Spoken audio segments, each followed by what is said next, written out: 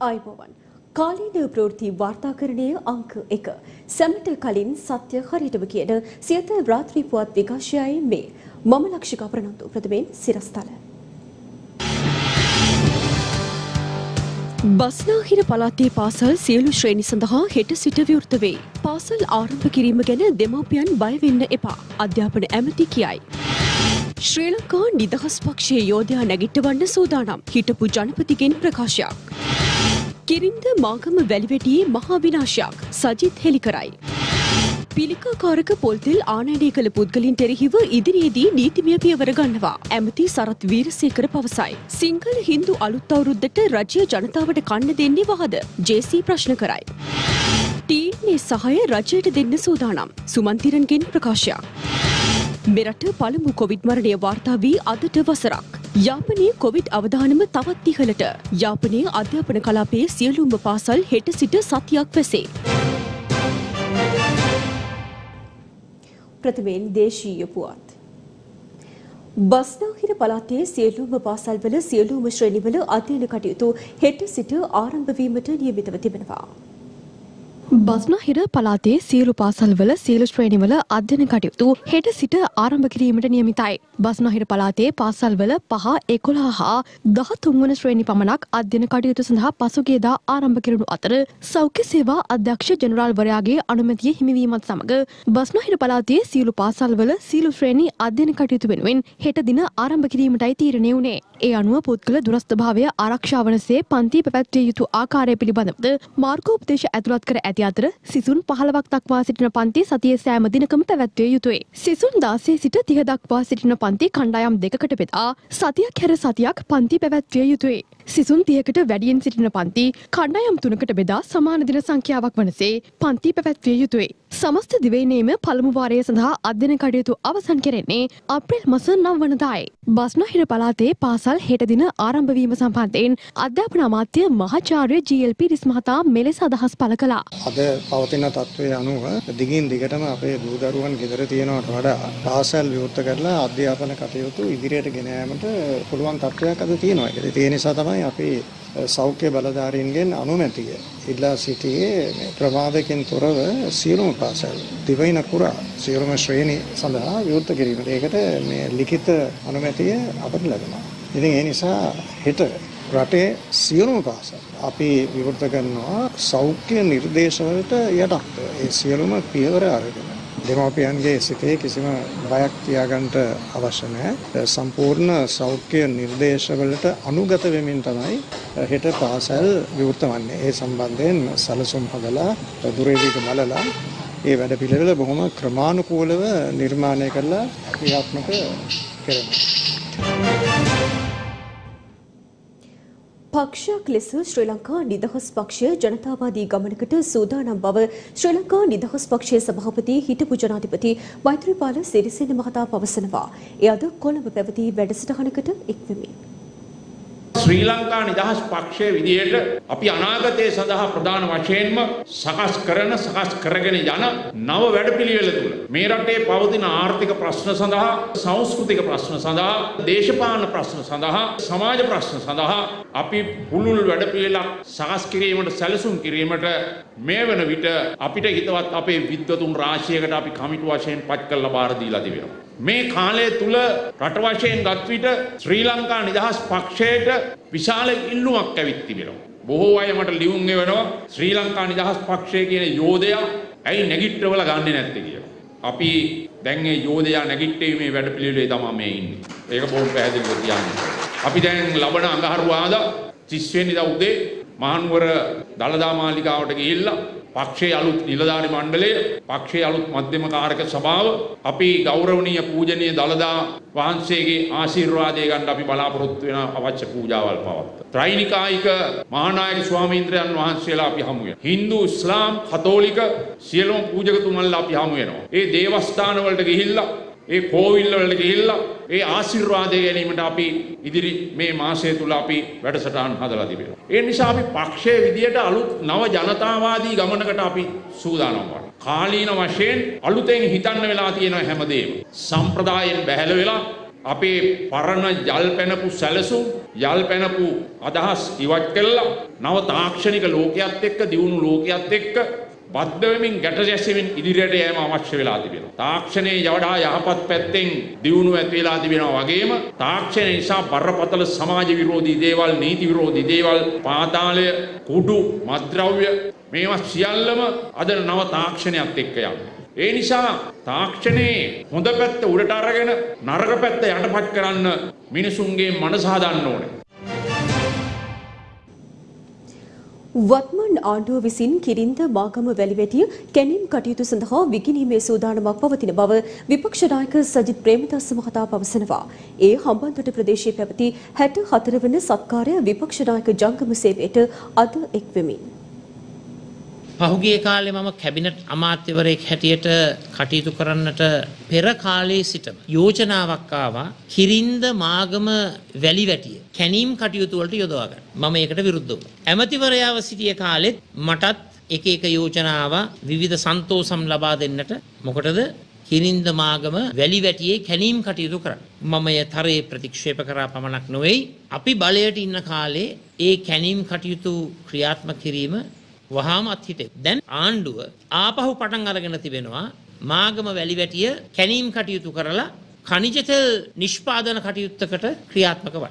අපේ රටේ විවිධ khනිජ තෙල් වර්ග තිබෙනවා, ඉල්මනයිට් තිබෙනවා, රූටයිල් තිබෙනවා, සර්කොන් තිබෙනවා, ගානක් තියෙනවා. අපි ප්‍රශ්න කරනවා සුනාමියෙන් ඒ කිරින්ද මාගම අන්දරගස්යාය මුළු බල ප්‍රදේශයම බේරගත්තු. කිරින්ද මාගම වැලිවැටියට ඇයි මාන බලන්න. ඇයි මේ වැලිවැටිය කැනීම් කටයුතු කරලා ඒ ප්‍රදේශයේ ගොවි බිම්වලට ලොකු හානියක් සිද්ධ වෙනවා. ඇයි? දැන් එදා අපි නතර කරපු වැලි වැටිය කැනීම් දැන් ඔන්න පටන් ගන්නට යනවා. අපි දැනගන්නට කැමති මේ වැලි වැටිය ව්‍යාපෘතියට පරිසර අවසරයක් තිබෙනවා. විවිධ පුද්ගලින් ගිහිල්ලා විවිධ යෝජනා දමලා කිරින්ද මාගම වැලි වැටිය විනාශ කරන්න හදනවා. අපි පුදුම වෙන්නේ නැහැ. සිංහරාජයත් විනාශ කරන්නට හදනවා හෝටන් තැන්නත් විනාශ කරන්නට හදනවා නකල්ස් කඳු වැටියත් ඒ පරිසර සංවේදී කලාපයක් විනාශ කරන්නට හදනවා ඒ ටිකත් විනාශ කරමින් දැන් අලුත් විනාශයක් කරන්නට සූදානම් වෙනවා. මැදින්පුර පසළොස්වක බොහෝ දිනය අදයි. ඒ වෙනුවෙන් වූ සියත අමාවැස්ස පෝතා සජීව විකාශය මෙවර පැවැත්වුණේ වාරියපොළ කොළඹගම ශ්‍රී මියුගුණාරාම විහාරස්ථානයේදී. බුදුරජාණන් වහන්සේ සිය පියාණන් වූ සුද්ධෝතන රජු සහ ශාක්‍ය වංශික ඥාතින් දැකීමට මහා සංඝයා වහන්සේ සමග කිඹුල්වත් නුවර බලා වැඩම කර ඇත්තේ අදවැනි පොහොය දිනයකදී බව ශාසන ඉතිහාසයේ සඳහන්. එමෙන්ම රාහුල කුමරුන්ට බුද්ධ ශාසනයේ පැවිදි බව ලබා දී ඇත්තේද යශෝධරාවන්ගේ දුක තුනී කිරීම සඳහා සඳකිඳුරු ජාතකය දේශනා කර ඇත්තේද අදවැනි පොහොය දිනකදී. මැදින්පුර පසළොස්වක පොහොය දිනය වෙනුවෙන් වූ මෙවර සියත අමාවැස්ස පෝදා සජීවී විකාශය අප ඔබ වෙත ගෙනයනු ලැබුවේ වාරීපොල කොළඹකම ශ්‍රී මියකුණාරාම රජමහා විහාරස්ථානයේ සිටයි. අද උදැස්සන පහයි පනස් පහට ආරම්භ කෙරෙනු සියත අමාවැස්ස පෝදා සජීවී විකාශයේ උවැසි උවැසියන් අෂ්ටාංග ශීලයේ පිහිටුවීම කොළඹගම රජමහා විහාරස්ථානයේ විහාරාධිපති පූජ්‍යපාද සියඹලා කෙලේ සුමන රතන හිමියන්ගේ මූලිකත්වයෙන් සිදු කෙරුණා. ඉන් අනතුරුවයි උදැසන සම්බුද්ධ පූජාව පැවැත්වනෑ. සියත අමාවැස්ස පෝදා සජීවී විකාශයට සමකාමී වූ ධර්ම සාකච්ඡා සහ කෙටි ධර්ම දේශනා ඉන් අනතුරුව පැවැත්වනා. තේරණ භාෂාවෙන් කියනවනම් හාමුදුරුවන්ට කතා කරන්නේ කොහොමද? සමාජයේ දකින්න තියෙන එක වැරද්දක් ඉස්සලා පෙන්වන්න හදන. නායක හාමුදුරුවරු පන්සලේ ඉන්න පොඩි හාමුදුරුවන්ට උන්නාංශ කියලා කියනවා. ඒ උන්නාංශ කියන්න අයිතිය තියෙන්නේ වස් 30 40 ගේ නායක හාමුදුරුවනමකට විතරයි. මේක අහන ගිහියොත් පොඩි හාමුදුරුවන්ට උන්නාංශ. කවදාවත් ගිහියෙකුට හෝ ලාබාල බිචුවකටවත් අයිතිය නෑ පොඩි හාමුදුරු කෙනෙකුට උන්නාංශ කියලා අමතයි. පොඩි හාමුදුරනේ කියලා කතා කරන එක හොඳම කතා කිරීමේ ආමන්ත්‍රණ විදිහයි. වාරියපොළ කොළඹකම ශ්‍රී මියකුණාරාම රජමහා විහාරස්ථානයේ සිට ලක්වැසි ලොවැසි සියලු බොදු ජනතාවගේ හිතසුව පිණිස වොයිස් ඔෆ් ඒෂියා මාධ්‍යජාලයේ බැතිපර දායකත්වයෙන් ඔබ වෙතගෙන ආ සියත අමාවැස්ස පෝදා සජීවී විකාශය අද පසුරුවේ උවැසි උවැසියන් සිල් පවරණය කිරීමෙන් අනතුරුව නිමාවට පත්වනා. ඉදිරියේදී දෙමළ ජාතික සන්ධානයේ සහය රජයට දීමට සූදානමින් සිටින බව පාර්ලිමේන්තු මන්ත්‍රී එම්.ඒ. සුමන්තිරන් මහතා පවසනවා. ඒ කොළඹ පැවති මාධ්‍ය හමුවකදී. දමළ ජාතික සන්ධානය දමළ ජාතික ප්‍රශ්නයට විසඳීමක් හොයන්නට කොයි වෙලා වුණොත් අපි රජයත් එක්ක සාකච්ඡා කරන්නට සූදානම් වෙලා තමයි ඉන්නේ. ඒක කොයි රජය වුණත් අපි කැමති මේක ගැන කතා කරලා විසඳීමක් හොයාගන්න. ඒ වගේ තමයි දැනුත් මේ වර්තමාන රජය නව ආණ්ඩුක්‍රම ව්‍යවස්ථාවක් හදන්නට කමිටුවක් පත් කරලා තියෙනවා. ඒ කමිටුව ඉස්සරහා අපි ගියා. මේ රජයනොත් ඒ වගේ කතා කරලා හැම ජන කොටසටම එකඟ වෙන්න පුළුවන් විදියට නව ආණ්ඩුක්‍රම ව්‍යවස්ථාව හදන්නට අපේ සහය දෙන්න කැමතියි. ආරාධනා ලැබුණද රජයෙන් ඔබතුමාලට? ඒ කමිටුවෙන් අපිට ආරාධනාවක් ලැබුණා. අපි පෙබ්‍රවාරි 20 මම හිතන්නේ ගිහිල්ලා ඒගොල්ලන්ට ඒ සාකච්ඡාව කරා. කෙලින්ම රජ විසින් ඒ වගේ ආරාධනාවක් ලැබුණොත් අපි කැමති ගිහිල්ලා කෙලින්ම රජයත් එක්ක ඒ සාකච්ඡාව කරන්න. ඒ කියන්නේ ඉදිරියේදී රජයත් එක්ක ඕන සහයෝගයෙන් වැඩ කරන්න ඔව් අපි කැමති. අපි කොයි වෙලාව වුණොත් අපි ඒ කැමැත්ත ප්‍රකාශ කරලත් තියෙනවා. අපි කැමති ඒ ඒ ඒ වගේ රජයත් එක්ක මොන පක්ෂෙත් එක්කම මේක ගැන සාකච්ඡා කරලා මේක ඉදිරියට ගෙනියන්න. ඉදිරි පළාත් සභාවට කොහොම සූදානම? ඒ කොයි වෙලාවට ඒ පළාත් සභා ඡන්දය තිබුණොත් අපි සූදානම් වෙලා තමයි ඉන්නේ. මේ වන විට වෙළඳපොලේ පවතින පොල්තෙල්වල පිළිකාකාරක අඩංගු වන්නේද නැත් යන්න පිළිබඳව සෞඛ්‍ය අධ්‍යක්ෂ ජෙනරාල්වරයා විසින් ප්‍රකාශයක් සිදු කළ යුතු බව පාරිභෝගික අයිතීන් සුරකීමේ ජාතික ව්‍යාපාරය නිවේදනයක් නිකුත් කරමින් පවසනවා. පාරිභෝගික අයිතීන් සුරකීමේ ජාතික ව්‍යාපාරයේ සභාපති රංජිත් විතානගේ මහතා සෞඛ්‍ය අධ්‍යක්ෂ ජෙනරාල්වරයා වෙත නිවේදනයක් නිකුත් කර තිබෙනවා. එම නිවේදනයෙන් උපුටා ගැනීම. පිළිකාකාරක පොල්තෙල් වෙළඳපොලේ අලෙවි කරන බවට කතා බහක් මේ වන විට සමාජය තුළ ඇති වී තිබේ. වසවිස නොමැති ආහාර පාරිභෝගිකයාට ලබා දීම සඳහා කටයුතු කිරීම ඔබතුමාගේ කාර්ය වන බව 1980 අංක 26 දරන ආහාර පනතේ පැහැදිලිව සඳහන් කර ඇත. එකී පනතේ 11 එක වගන්තිය අනුව ඔබතුමා ආහාර පිළිබඳව නිසි බලධාරියාය. එකී පනත ප්‍රකාරව ආහාර පිළිබඳව නිසි බලධාරියා වන ඔබගෙන් මේ වන විට වෙළඳපොලේ අලෙවි කරනු ලබන පොල්තෙල්වල ඇෆ්ලටොක්සින් යන පිළිකාකාරකය හෝ වෙනත් විසද්‍රව්‍ය අඩංගුද නැද්ද යන්න පිළිබඳව වහාම ප්‍රකාශයක් නිකුත් කරන ලෙස අප සංවිධානය ඉල්ලා සිටිමු. උපුටා ගැනීම අවසන්. ඇෆ්ලටොක්සින් නම් පිළිකාකාරකයේ අඩංගු ආනයනික පොල්තෙල් වෙළඳපොලට නිකුත් වී ඇති බවට පසුගියදා අනාවරණය වුණා. මේ අතර පිළිකාකාරක අන්තර්ගත පිරිපහදු නොකළ පොල්තෙල් ගෙන් වූ සමාගමක් එහි දෙවන තත්ත්ව පරීක්ෂාවෙන්ද අසමත් වී ඇති බව බව ශ්‍රී ලංකා ප්‍රමිති ආයතනය පවසනවා. තවත් සමාගම් තුනක් සිය සාම්පල දෙවන පරීක්ෂාව සඳහා අභ්‍යාචනා කර ඇති අතර ඒවායේ වාර්තා හෙට දින ලැබීමට නියමිතයි. මේ අතර මහජන ආරක්ෂක අමාත්‍ය රිය අද්මිරාල් ආචාර්ය සරත් වීරසේකර මහතා සඳහන් කළේ පිළිකාකාරක අඩංගු පොල්තෙල් ආනයනය කළ පුද්ගලයින්ට ඉදිරියේදී නීතිමය පියවර ගන්නා බවයි. මේ පොල්තෙල් ගෙනාපු කණ්ඩායම් නීති ක්‍රියාත්මක වෙන්නේ නැද්ද? අනිවාර්යයෙන් මේක කරනවා. දැන් ඒක පාරිභෝගික අධිකාරිය විසින් දැන්ටමත් ඒ කටයුතු කරගෙන යනවා. දැන්පත් ඒ අයට විරුද්ධව නඩු පවරින් යනවා. මේක පොල්තෙල් වලට පමණක් නෙමෙයි මේක අනිත් ද්‍රව්‍ය වලටත් මේ පොදුයි. ඒ වගේ අයට දැඩි දඬුවම් දිය යුතුයි කියන මතය තමයි මමත් ඉන්නේ. මොකද ජනතාවගේ ශරීරයට විසපෝලා විස ඇති කරලා තමාගේ ලාභය ගැනම හිතලා ඒ වගේ කටයුතු කරන අය දේශයට ද්‍රෝහි වෙන්න නෙම නැත්නම් දේශද්‍රෝහී හැටියට තමයි අපි අඳුරන්නේ. මේ අතර පාර්ලිමේන්තු මන්ත්‍රී ජේ.සී. අලවතුල මහතා ප්‍රකාශ කරන්නේ පිළිකාකාරක අඩංගු පොල්තෙල් ආනයනය කිරීම හේතුවෙන් දේශීය පොල්තෙල් නිෂ්පාදකීන් අපහසුතාවයට පත්ව ඇති බවයි. අපි කුරුණෑගල පොල් ත්‍රිකෝණයේ ජීවත් වෙන උදවිය. දැන් පොල්තෙල් නිෂ්පාදකයෝ මේ කුරුණෑගල ප්‍රදේශයේ ඉන්නවා 600ක් විතර. අද ඒ සියලු දෙනා ඒ ආයතන රැකියා කරන හැම කෙනාම ඉතාමත් අපහසුතනකට පත් වෙලා තියෙනවා. ඒ රැකියා අහිමි වෙලා තියෙනවා. ඒ දේශීය කර්මාන්ත කඩා වැටලා තියෙනවා. ඇයි මේ දේශීය කර්මාන්ත කඩා වැටෙන්නේ? මේ පොල් තෙල් සුද්ධ කරපු නැති ක්‍රූඩ් ඔයිල් එක බදු අඩු කරලා අද ලංකාවට ගේන්න අවසර දීම නිසා තමයි මේ ප්‍රශ්නේ ඇති වෙලා තියෙන්නේ. අද වහකණ්ඩ වෙලා තියෙන මේ මේ ආණ්ඩුවත් එක්ක. මේ ස්ථාන දෙකකින් ගත්ත පොල් තෙල්. මේ දෙකම එක වගේ. නමුත් මේ කෝකද විස තියෙන කියලා අපි කාටවත් හොයන්න බෑ. එහෙමනම් අද ජනතාවට මේ රජය අවුරුදු කන්න දෙන්නේ වහද කියලා අපි රජයෙන් අහන්න කැමතියි. විපක්ෂ නායකවරයා විසින් පසුගියදා පොල්තෙල් පිළිබඳව සිදු කළ ප්‍රකාශය සම්බන්ධයෙන් අමාත්‍ය බන්දුල ගුණවර්ධන මහතා හෝමාගම ප්‍රදේශයේදී මෙලෙස අදහස් පළ කර සිටියා. විපක්ෂ නායකතුමා මේ රට පුරාම අවුරුද්දට වසවිස සහිත පොල්තෙල් නිකුත් කරලා තියෙනවා කියලා මේක රජයේ නෙමේ පොල්තෙල් බෙදාහරි විවිධ පාර්ශ්වයන් විසින් ව්‍යාපාර ආයතන විසින් ආනයනය කරන හා දේශීය නිෂ්පාදනය කරපු පොල්තෙල් රට පුරා බෙදාහරින. එතකොට එවැනි පිළිකාකාරක අඩංගුවේ කියලා තියෙන තෙල් සම්බන්ධයෙන් පරිභෝග කටයුතු අධිකාරිය ගිහිල්ලි වෙලා වරාය ඇතුළේ තියෙන ගුදාම් සීල් කරලා තියෙන. ඒ පිළිබඳ පරීක්ෂණ කරන්න කාර්මික තාක්ෂණික ආයතනයට ITI ආයතනයට සාම්පල් බාර දීලා තියෙනවා. එසේ කරගෙන තියෙද්දි කොහේ හරි තාම වෙළඳ පොළ තුල මෙසේ තියෙන තියෙනවා කියලා ස්ථානයක් කියනවා. මෙන්න මේ තැන්වලයි තියෙන්නේ කියලා අපිට ඒ පිළිබඳ පරීක්ෂණයක් කරන්න. රටක විපක්ෂ නායකවරයෙක්ට රටක් පිළිබඳ මීට වඩා විශාල ජාතික වගකීමක් පැවැත්. කොයි හරි මේ රටේ ජනතාවට අපි කවුරුවත් වසවිස සහිත දේ නිකුත් කරන්නේ නැති වෙන්න තමයි කටයුතු කරන්නේ. තුමා මේ පිළිබඳ තොරතුරක් දන්නවනම් තොරතුරු වහාම දැනුම් දෙන්න ඕනේ. අදාළ අංශවලට ගිහිල්ලි වෙල්ලේ වැටලීම් කරලා අවශ්‍ය නීතිමය ක්‍රියාමාර්ග දේශපාලන වේදිකාවේ පළ වූ අදහස් කිහිපයක් දැන් මේ පාර බන්දු ලකුණු වර්ධන මහත්තයා අලුත්ම සෙප්පඩ විද්‍යාවක් දාලා තියෙන සිංහල අලුත් අවුරුද්ද කිට්ටු වෙනකොට රුපියල් 1000කට බඩු මල්ලක් දෙනවා කියලා. හැබැයි එතුමා කියලා නෑ තාම මේ 1000ට දෙන බඩු මල්ලේ අඩංගු ද්‍රව්‍ය මොනවද කියලා. මං හිතන්නේ මේ සිංහල අලුත් අවුරුද්ද මිනිස්සුන්ට ඉතාම අමාරු තැනකටපත් වෙලා තියෙන්නේ. විශ්වාස කරන්නේ නෑ සියලු දේටම ජනාධිපතිවරයා වගකිව යුතුයි කියලා. මේ රටේ කැබිනට් අමාත්‍ය මණ්ඩලයක් තියෙනවා. ඒ විතරක් නෙමෙයි අපේ රටේ දෙපාර්තමේන්තු අධිකාරී මණ්ඩල මේ ඕඩේ තරම් තියෙනවා. මේවා නියාමනය කරෙන්නේ නැති එකයි ප්‍රශ්නේ. පිරිපහදු නොකරපු පොල්තෙල් සමහර වෙලාවට පාවිච්චි කරපු පොල්තෙල් මේවා ගෙනල්ලා ලංකාවේ මිනිස්සුන්ට විකුණනවා. මේක තමයි බිස්නස් එක. මේ පොල්තෙල් කිසිම විදියකට සන්නාමයක් නැතුව විකුණනවා. දැන දැන මෙවැනි දේවල් සිද්ධ වෙන්න දෙන ආණ්ඩුව පිළිබඳව අපිට තියෙන්නේ කනගාටුවක්. පළවෙනිම කාරණාව තමයි විෂ තියෙන පොල් තෙල් ගෙනාපු ව්‍යාපාරිකයාද මේකේ වැරද්ද කරලා තියෙන්නේ? එහෙම නැතු විෂ සහිත පොල් තෙල් අල්ලපු ආණ්ඩුවද මේකේ වැරද්ද කරලා තියෙන්නේ? නිසා ආණ්ඩුවට වැරද්ද පටලවන්න එපා.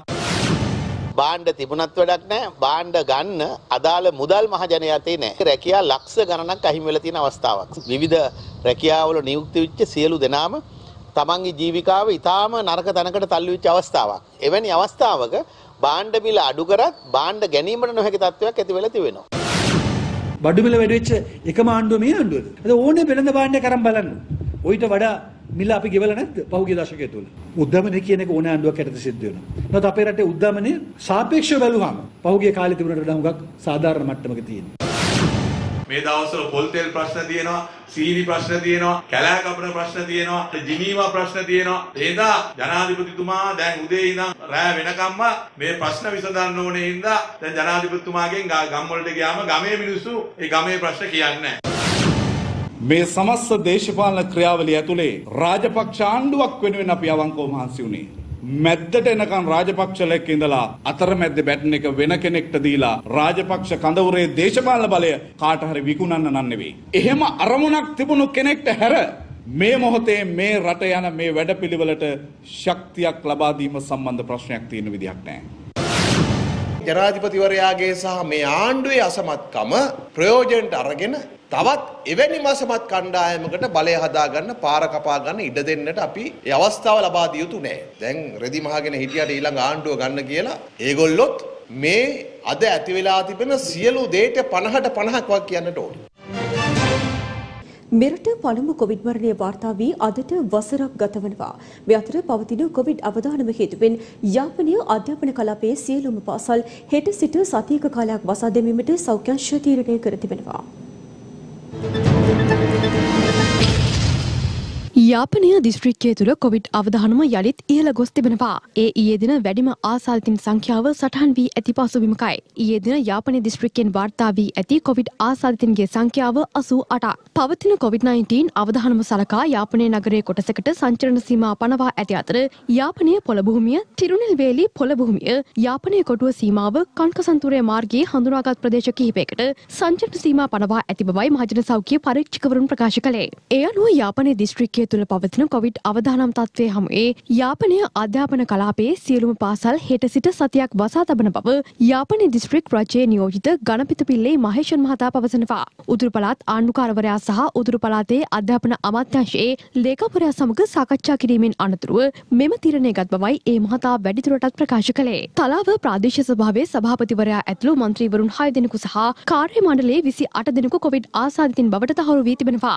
අදාළ ප්‍රාදේශීය සභාවේ ලේකම්වරයා පළමුව කොවිඩ් ආසාධිතයෙකු ලෙස තහවුරු වූ අතර ඔහුගේ ආශ්‍රිතයින් PCR පරීක්ෂණ සඳහා යොමු කිරීමටයි සෞඛ්‍ය අංශ කටයුතු කළේ. ඒ අනුව ඔහුගේ ආශ්‍රිතයින් තිස් එක් දෙනෙකු මේ වන විට කොවිඩ් ආසාධිතින් ලෙස තහවුරු වී ඇති අතර පුද්ගලින් එකසිය පහළොස් දෙනෙකු සොයා නිරෝධානය සඳහා යොමු කිරීමටයි සෞඛ්‍ය අංශ කටයුතු කර ඇත්තේ.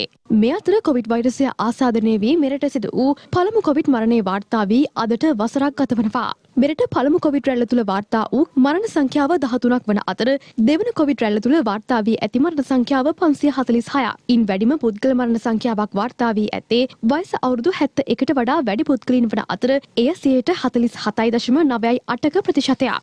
වයස අවුරුදු හැට එකත් හැත්තෑවත් අතර පුද්ගලින් එකසි හතලිස් තුන් දෙනෙකුද කොවිත් දෙවන රැල්ලෙන් මියගොස් ඇති අතර එය සියයට විසි හයයි දශම එකයි නවයක ප්‍රතිශතයක්.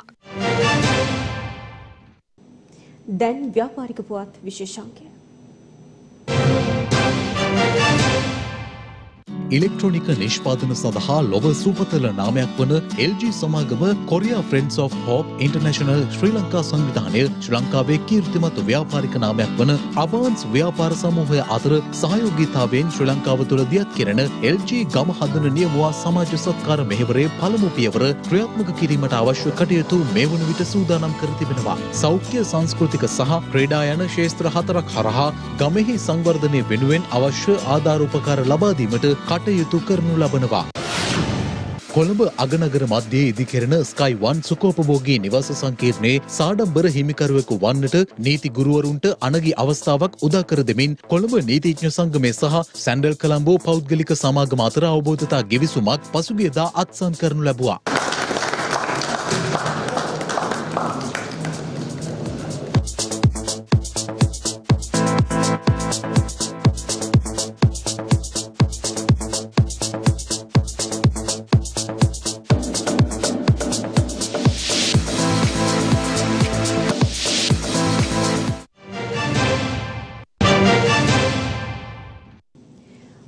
පුවත් විකාශය අවසන්. තවත් උණුසුම් පුවත් දැනගැනීමට පිවිසෙන්න ලංකාවේ අංක එකේ සිංහල වෙබ් අඩවිය www.siyanews.lk අපගේ වෙබ් අඩවිය වෙත. යළිත් හමුවෙමු හෙට උදැසන 6ට. ඔබට සුබ රාත්‍රියක්.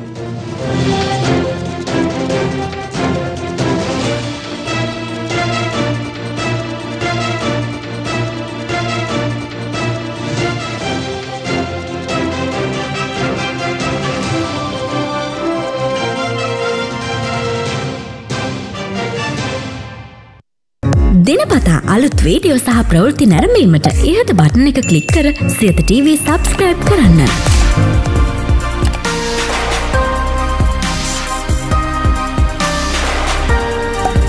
අලුත් වීඩියෝ ගැන මුලින්ම දැනගන්න මෙම සීනුව ක්ලික් කරන්න.